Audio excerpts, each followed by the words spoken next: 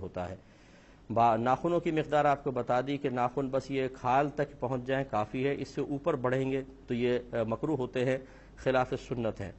اور جو موزر ناف کی مقدار، عموماً لوگ اس پہ بڑے پریشان ہوتے ہیں اور چونکہ اس قسم کے مسائل ہمارے ہاں شرم کے مسائل سمجھے جاتے ہیں۔ ویسے ہم لوگ جو کچھ کام کر لیں، برائی کا کام کر رہے ہوں، گھر والوں کے ساتھ مل کے کر رہے ہوں، لیکن ہمیں شرم و حیا نہیں آتی، لیکن مسئلہ معلوم کرتے ہیں تو شرم آنے لگ جاتی ہے۔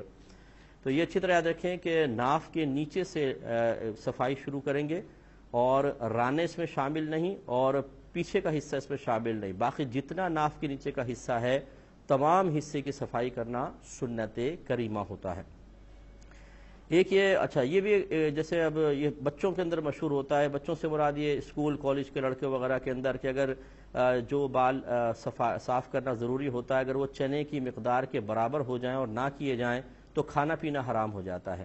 یہ بالکل غلط مسئلہ ہے۔ اس طرح کچھ بھی نہیں ہوتا۔ فرض کر لیں خدا نہ خواستہ کوئی چالیس روز تک بھی نہ کاٹے اور مطلب چنے کی مقدار تو بہت دور کی بات، اس سے بڑے بھی ہو جائیں۔ اس کے باوجود کھانے پینے پہ کوئی فرق نہیں پڑے گا۔ کھانا پینا طیب اور حلال ہے۔ اس کا ان بالوں کے صفائی سے کوئی تعلق نہیں یعنی حلت اور حرمت کا کوئی تعلق نہیں ہے۔ اب باقی وہ جو حکم ہے ہم نے آپ کو بتا دیا کہ چالیس دن کے اوپر کریں گے تو اس دیر کرنے کی بنا پر گناہ گار ہوں گے، لیکن اس کی بنا پر کھانے پینے پہ کوئی فرق نہیں آئے گا۔ ایک بھائی، نے آفیر کوشچن کیا تھا۔